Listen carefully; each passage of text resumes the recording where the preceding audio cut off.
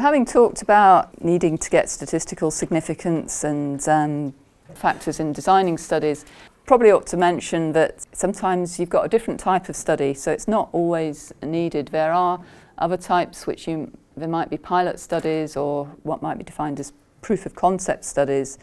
And in these cases, then you're, you're not actually looking for statistical significance. So you want to be sure that uh, sort of what the purpose of your study is before deciding that you do want to actually prove a result or do you just want to sort of do some of these things which means that you don't have to kind of have enough animals or data points to get statistical significance.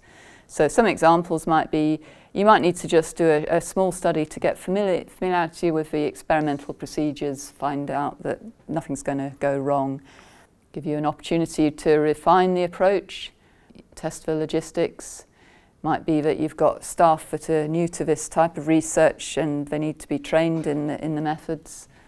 You might just need to do a, a few of this, a new treatment to make sure that it's not unsafe. Or it might be that it's important to sort of do a sample size estimate, but you've no idea how variable the data are. So you might just do a very small study to get a feel for how variable the data are.